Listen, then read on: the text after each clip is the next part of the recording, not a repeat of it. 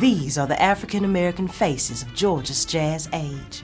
Their lives were as complex, dynamic, and fast paced as the decade they lived in.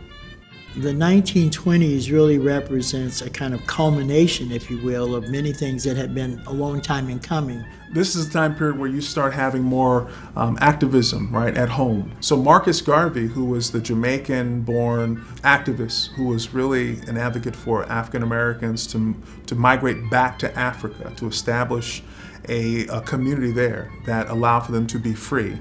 And these different Garveyites were throughout the South.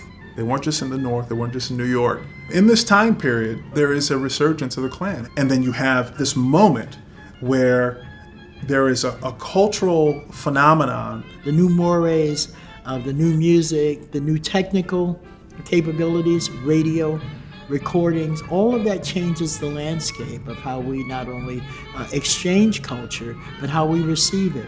We now have a time, we have space to develop the new Negro.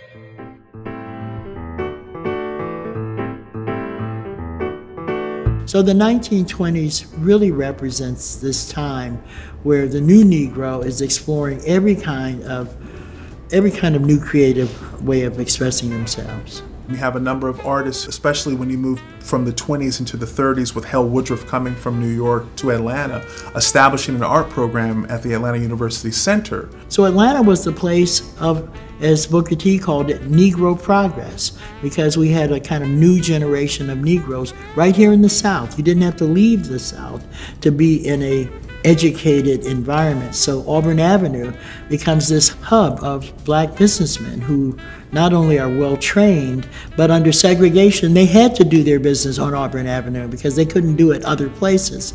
Auburn Avenue, which used to be a dusty road, became the richest Negro street in America. Ex-slaves who once knew the sting of the whip walked with pride as they patronized the 72 black-owned stores on Auburn Avenue, or worshiped at the historic churches. Ex-soldiers from the First World War boldly wore their uniforms as they shopped for hats and cufflinks at Jordan's department store. So the First World War, um, I think people really underestimate its impact on African American history. And of course, African Americans serving in Europe uh, got a chance to see another part of the world that they had never seen before or even imagined. 1919, Soldiers Return Home. One of the things that was published, I think it was in the, the Workman, was that you may have changed, but we haven't. Traditions will remain the same. So when these soldiers are returning to their southern homes, they were stripped of their uniforms. If they didn't take their uniforms off, some were killed, if not beaten extremely badly. This is going to be the opportunity for these men to assert their sense of freedom, their sense of justice, and claim their citizenship and manhood.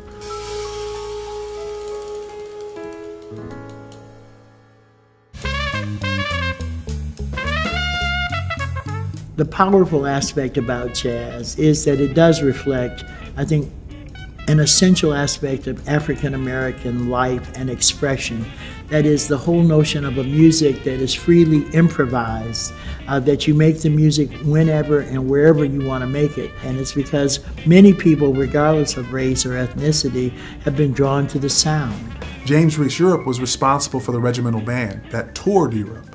And so James Reese Europe and this regimental band introduced jazz to Europe. At one point, uh, I think it was a French soldier who went to one of the trumpet players and looked at his horn to see what was unique about it because there's no way a horn can make those sounds because it was so arresting to them. Retrospectively, we look at the jazz age because F. Scott Fitzgerald and the writers, they talked about the 1920s. It was what jazz represented a rejection of the Victorian kind of mores of the 19th century, uh, women and short haircuts and smoking cigarettes. Jazz was the music that seemed to associate, that was the soundtrack for that kind of opening up of American life and culture. Women had already started bobbing their hair, but listening to jazz made them want to cut it even shorter. Jazz made everyone want to dance the Charleston and the Black Bottom harder and longer. Ma Rainey, a native of Columbus, Georgia, and her Georgia Jazz Band performed at the 81 Theater. But not everyone was amused. So the church is really one of those uh, important and complicated institutions that in its interest of becoming fully American, it embraced many of the racist and, and ideas about what it meant to be black. To be black was to be immoral.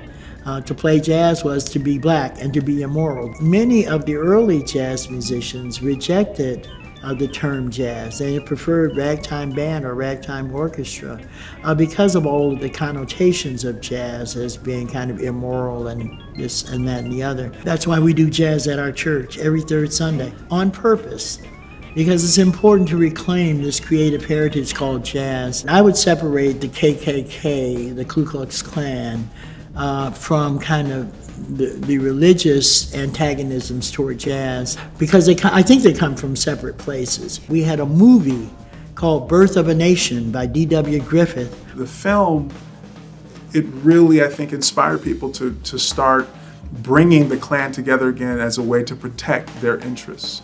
It wasn't just protecting white women, it was seeing that black progress was going to undermine any kind of white success, but also destabilize what was already established. It was a complete lie, and that complete lie was spread through the movies. And people said, you know, at last, somebody's telling the truth that all of our problems and the loss of our Southern way of life was because of slaves.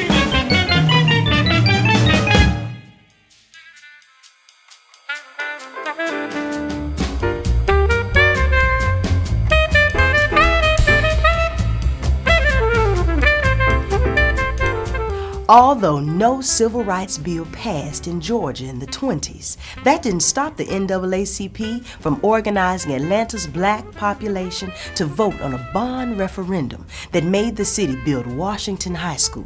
So the irony of segregation in the South is that it created a kind of very dense environment so that you had the educated and the uneducated all living in each other's midst. And so that made for poor and un uneducated people, it gave them an opportunity to see the possibilities of becoming a pharmacist or a doctor or a dentist. And so all of these things, I think, contributed to making Atlanta a pretty special place in the South. Your ancestors were not just slaves, that was a condition. But your roots go back to Africa. If you draw from that and you'll make meaning from that through your music, through your poetry, through your writing. So I think we're seeing that across the South into the North, but I think is expressed more freely in places like New York and Chicago.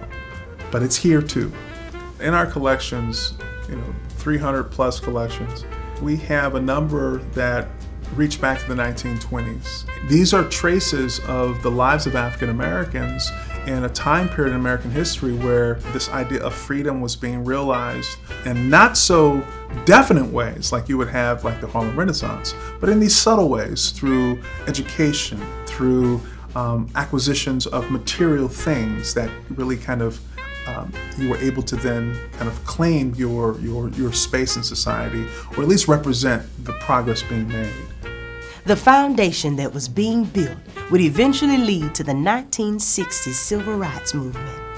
And in 1929, at 501 Auburn Avenue, the powerful leader of this great movement was born.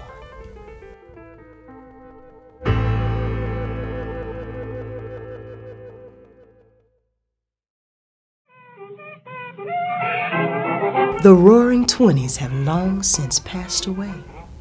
But the streets and the places that defined the 20s are still there.